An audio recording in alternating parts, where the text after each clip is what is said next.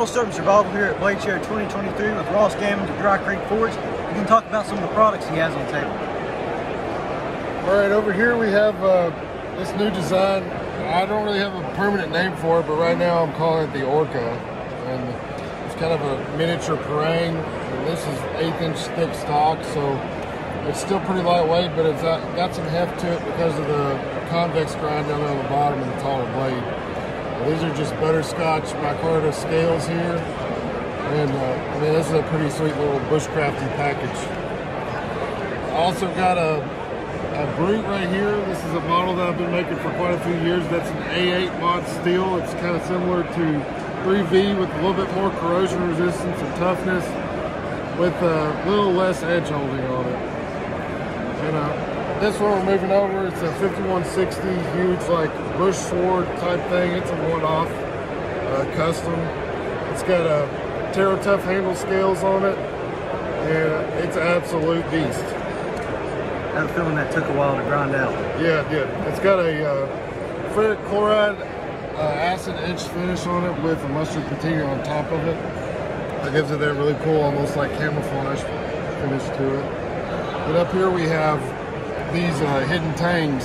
I did a, a, set of three of these, one of them's already sold, but two of them were leather stacked like this. And then one of them right here is made with uh, elk antler. And these all have titanium fittings on them. Uh, it makes this one pretty lightweight because of the leather, but this one's got a little more heft to it just because the stag is heavier. So, move on over here. This is a uh, same uh, type of design here. This is a uh, titanium fittings all over this one. In the back of here we have like a half inch threaded titanium rod with the cap is actually screwed onto here. Um, all leather stacked handle. This is 8670M steel. Have, the clip is actually sharpened on this too. I had one of these earlier and it's already sold.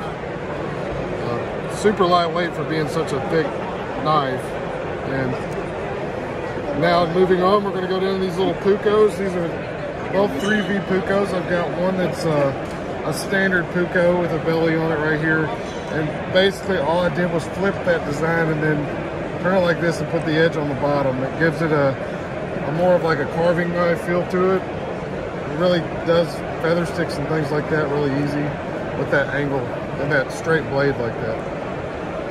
Um, these right here are already spoken for, but there's some cool stuff to look at. And this one right here is the last one that I have available.